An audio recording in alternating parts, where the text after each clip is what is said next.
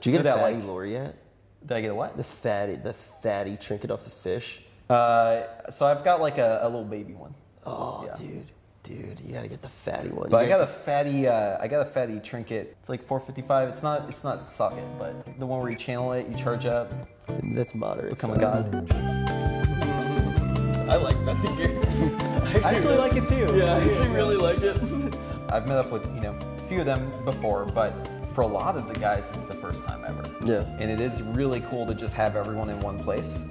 Uh, especially like my favorite parts right now are whenever we all take a break and go like eat Yeah, or like yeah. walk back to the hotel, right? Because that's like a new experience. Yeah. Right. You can't get that in game. So. Did anybody like surprised you in in, in real life? You're just like, whoa, that's not what I expected. Uh, okay, yeah. So THD acts like he's a really weird guy online. Like he he puts on this show, right? He's like, oh yeah, I'm, I'm the Twitch guy. You know, everything I say is the Twitch meme. Yeah. That, that's him, right? And he does Smiley it for like, yeah, he does it for like shock value. Like he wants you to be like, oh, you're weird. Yeah. Uh, but he's a normal dude. and He can't hide it. He Yeah. can't hide it.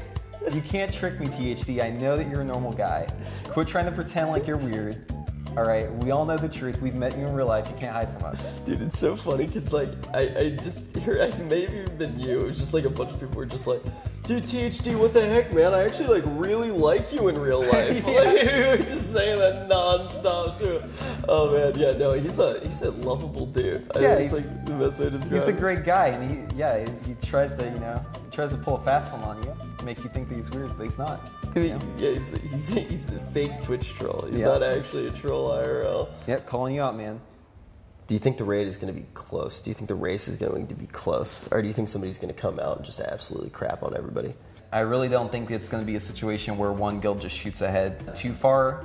At least I hope not. It's not good for anyone, right? Like the players, it's not good for the people watching. It's good to have a competition that's really close. So th- that's what I'm hoping on. What's interesting this tier is that a lot of the guilds are taking a completely different approach, right? You've got people who are stacking shaman. You've got people who are stacking hunters and mages. You got people who are stacking warlocks and druids, right? So everyone kind of has their own interpretation of what's going to be good.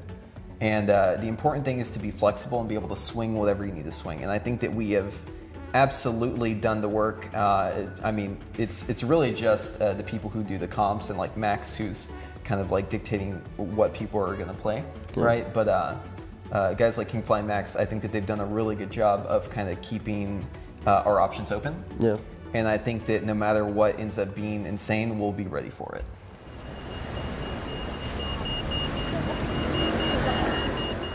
Glad we actually got to talk about everything. And it's really cool to see that Limit came together from you guys just all playing together. When you guys put Limit together, mm-hmm. was the goal to get world first, or was it, I like playing with these people, I want to play with these people? Yeah, so the goal was definitely to just be a guild that raids very little and owns. That's it. Like we had no aspirations for any sort of world rankings. I think that we were shooting for like world 25th, Yeah. yeah. right? Like that was our stated goal was okay, we're gonna raid like two nights a week because because here's the thing, right? Like we had conversations between you know all these people in all these different guilds. Like there were people in Blood Legion, Midwinter, uh, you know all the big guilds at the time. Duality is where Max and I are from, uh, and and basically we were all talking to each other and we're like, hey, our guild's kind of they're they're all right, but like, what if we took all the best players and put them in one guild? Yeah. Then we could clear all of the raid in like two nights Yep. and like get world 25th. You know, sounds pretty good to me. Yeah. So that's what we did, right? And then we realized, oh wait, maybe we could like actually compete.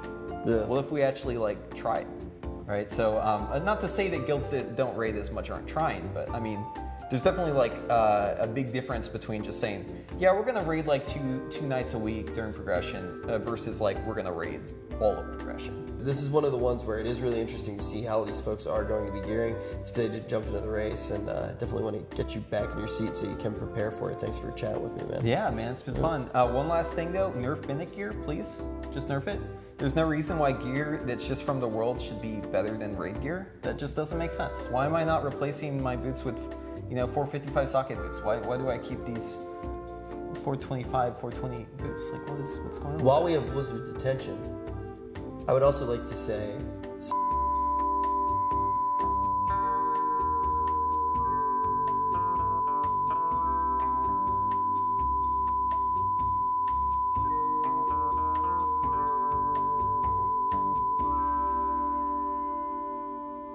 Flame on was so fun.